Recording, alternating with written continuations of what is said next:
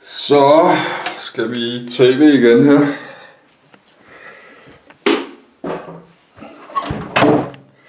Men øh, vi skal lige have startet videoen øh, på en ordentlig måde.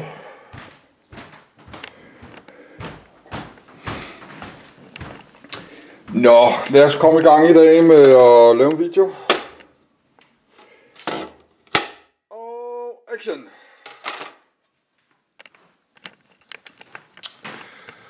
Godmorgen og velkommen til Monko TV. Så er en ny dag startet. Jeg er en gammel øh, fattig YouTuber, John. Det er simpelthen blevet øh, tirsdag den 2. april, og klokken den er halv ni. Jeg kan ikke sove mere, så nu kan jeg lige så godt stå op. Jeg vil øh, huske at lige tage mit står vækur klokken 9. Lad os tage vækkeuret fra, så det ikke står og ringer, når man er gået. Det skal jeg da i hvert fald lige tjekke. Der skal have et nyt vækur. Det skal være sådan et, der selv kan slå fra efter en time eller sådan noget, så det ikke står hele dagen og ringer.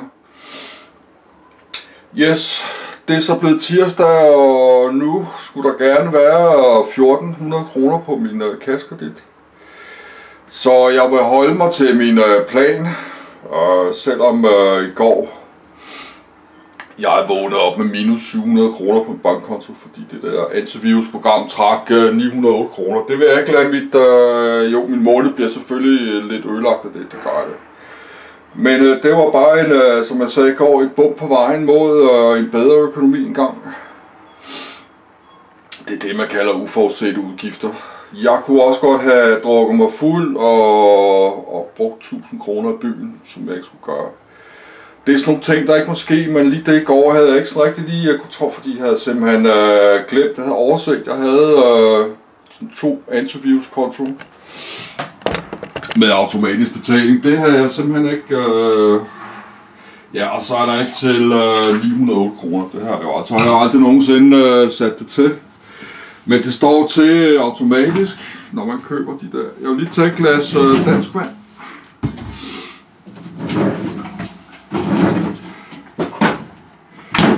Yes, jeg vil så holde mig til den plan, jeg har for august. Det bliver bare så ikke øh, uden kviklån. Det bliver så bare med kviklån. At jeg bare vil købe øh, det sådan allermest nødvendige, jeg har brug for.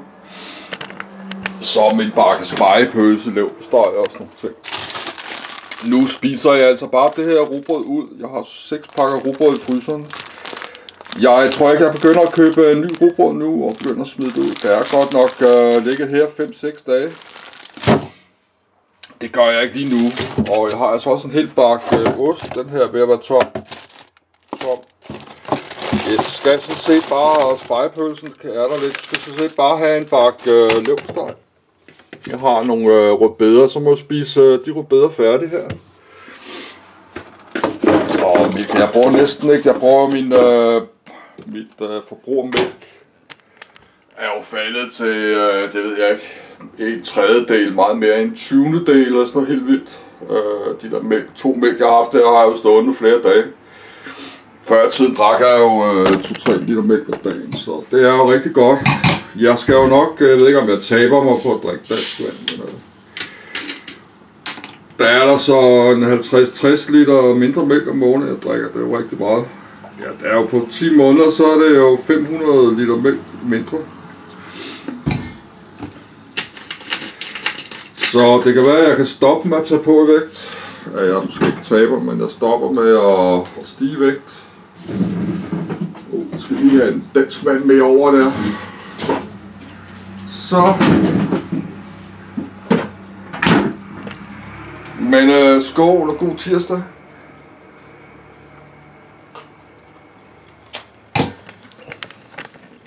Men øh, min gamle mor kommer om nogle dage, så jeg vil lige øh, afsted. Jeg vil afsted til Netto og øh, se, om de har øh, noget øh, gave. Jeg vil holde mig til plan at bruge en små 100 kroner til chokolade, og så vil jeg have to bøffer. Køber jeg hjemme, ellers så skulle der være et eller andet, det tror jeg, jeg gør hjemme. Jeg har ikke så mange penge, men jeg, gider, jeg har ikke så lyst til at købe et eller andet kylling til 20 kroner, så min mor kommer og skal stå og lave et andet, jeg har købt for 15 kroner og kød. Men de har faktisk noget farsbrød øh, i øh, Netto. De har sådan bakke med øh, sådan noget fars, kødfarsbrød, man skal sætte i ovnen, som sikkert smager udmærket. Så, men det kunne jeg jo købe til mig selv måske. Yes, jeg tror, jeg er forbi øh, Netto. Jeg køber noget chokolade. Øh, noget blomme i Modea, noget After Eight, bare et eller andet pænt. Så øh, den der spanske vin øh, kunne jeg altså ikke finde sidst. Den der til 95 kroner. Det kan godt være, at jeg gider ikke. Jeg har kigget lidt rundt. Det stod ikke hen ved øh, vinhylden. Det der, den der. Jeg er lige vågen nu. Jeg overgår ikke at blade øh, det hele igen. Jeg står også lidt akavet. Det var den, jeg så lige her. Yes, den her vin her, jeg tænkte på. Der står ikke noget med spotvarme, men jeg kan altså ikke se den øh, nede i vindhylder. Jeg gider altså ikke rende rundt 10 minutter og gå og kigge. Der står begrænset parti også. Det kan jo være 20 flasker. De er jo solgt. Der er jo kommet en, og så har de købt 10 flasker og 20 flasker. Så den er jo væk sikkert. Yes, jeg vil så leve øh, på kredit. Det kommer til, jamen jeg vil eller ej, det kommer til. Teknisk set har jeg jo ingen penge. Jeg har en tom på nu. Jeg har betalt 2.000 i går øh, ind på mit kaskredit, så jeg har, jeg ved ikke hvad der er, 2 gange 700 kroner. Jeg vil øh, logge øh, på måske, det, gør, det gider jeg ikke. Jeg tror bare, jeg vil afsted til, øh, til Netto og lige købe det chokolade. Og øh, så yes, jeg skal lige have logget på min, øh, på mit øh, Mastercard, eller på mit kaskredit, hvor jeg har Mastercard. Men øh, hvis min Mastercard bliver afvist, så har jeg jo øh, 700 kroner på min, øh, på min øh, jeg lå to i kviklån på min bankkonto. Yes, klokken er ikke særlig meget, og jeg er ikke morgenmenneske. Klokken er kun 20 Jeg prøver at lave videoen lidt kort. Men jeg kan I have en god tirsdag, og have et godt april måned. Jeg kommer nok en video senere i dag, men øh, klar, jeg har tænkt mig at lave øh, syv videoer om dagen. Jeg skal bare igennem øh, april måned nu. Jeg bare hygge mig til Netflix. Jeg har ikke spillet computer øh, flere måneder. Det ligger jo helt dødt. lyden er røget. Mit, øh, jeg kan godt have spillet det der Echo Game, men lyden er røget i det. Ikke kun det, men der er nogle spil, øh, hvor lyden ikke virker mere på min øh, Asus og laptop, der har virket. Så, men øh, på min Euro Truck Simulator virker lyden. Jeg har ikke så meget lyst til at køre, jeg har 2.000 timer på det der Euro Truck Simulator. Jeg har også problemer med at det der ProMods uh, scenery, jeg bruger til Euro Truck, det crasher, det virkede ikke. Uh, sammen med noget, der hedder ROSMap.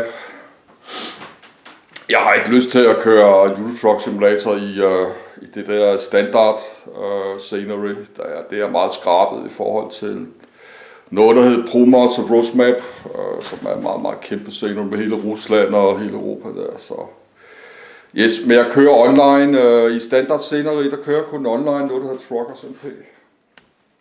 Der har jeg så bare kørt rigtig mange hundrede timer, jeg har ikke sådan lyst nu. Yes, jeg vil øh, komme i gang med dagen her, og kan I have en god dag også. Kort.